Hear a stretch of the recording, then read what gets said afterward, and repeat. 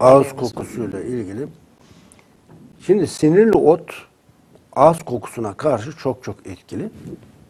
Hemen görelim Biz hocam. birleşiminde Çin tırtır mantarı, cordyceps. Çin tırtır mantarının latince ismi cordyceps. Evet. Birleşiminde Çin tırtır mantarın ekstraktı, sinirlot ekstraktı gibi laden gülü ekstraktı 19 bitkinin ekstraktından oluşan cordyceps geliştirdik.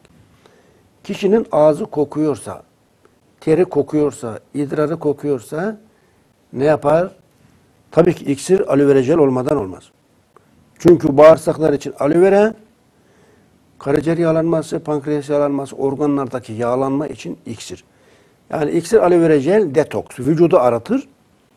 Kortisep burada takviyedir.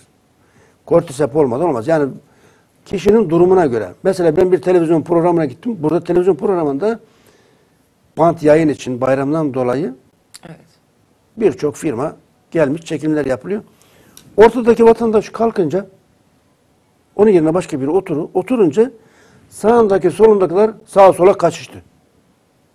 Dedim ki ne oldu acaba? Yani Çok rahatsızlık verici bir durum. bir adamcağız dedim istemeyerek şey yaptı mı yellendi zannettim. Ben sordum dedim ki ne yaptı? Ayıp bir şey mi yaptı da adam yanından sağından solundan kalktınız dedim. Ter kokuyor dediler. Allah Allah. Ter kokusu çevresindeki insanları rahatsız ediyor. Ha öyle mi dedim. Problem değil. Ben onu tedavi ederim. Ha, Şimdi programdan sonra vatandaşa nasılsın iyi misin dedim. Ya dedi ben de sizinle görüşecektim. Çok yoğun bir ter kokusu var. Bununla başa çıkamıyorum dedi. O da bir sağlık ürünü satıyor. Aa, problem değil dedim. Altta hiçbir şey kalmaz. İksir, aloe vera jel, cordyceps forte. Ter kokusu ve ağız kokusuna e, birebir kullanılıyor değil mi hocam? Tabii tabii. Şimdi ağız kokusu varsa çay ağacıyla da gargara yapmak gerekir. Çünkü ağız kokusunun sebebi e, yüzde 98 bağırsaktaki mantarlar. Fakat nadiren çürük diş, dişleri çürümüşse, iltihaplanmışsa, Bunlar da faktör. ağzında af varsa, behçet hastalığı varsa çay ağacı yağıyla ağız kokusunda çay ağacı yağıyla gargara yapmak gerekir. Eğer diş etlerinde, ağzında, damağında, ağız boşluğunda herhangi bir iltihap yoksa da dişlerinde çürük yoksa gerekmez. Fakat genellikle ağız kokusunun sebebi bağırsaktaki mantarlardır. Yine bağırsağa geldi. Tabii tabii. Frankfurt'tan Kaan isimli bir Pakistanlı bana geldi dedi ki ya kulak burun boğaz doktoruna gitmiş, diş doktoruna gitmiş, e, gastroloji mide, midesine endoskopi yaptırmış. Hiçbir doktorların hiçbir şey yok. E niye ağzın kokuyor? Bilemiyor demişler. Adamcağız böyle iki metreden ağız kokusunun yanına yaklaşamıyorsun. Hep dalga geçiyorlar. Diyorlar ki ona gene çok içmişsin. Alkol gibi kokuyor. Ya. Çok pis kokusu var.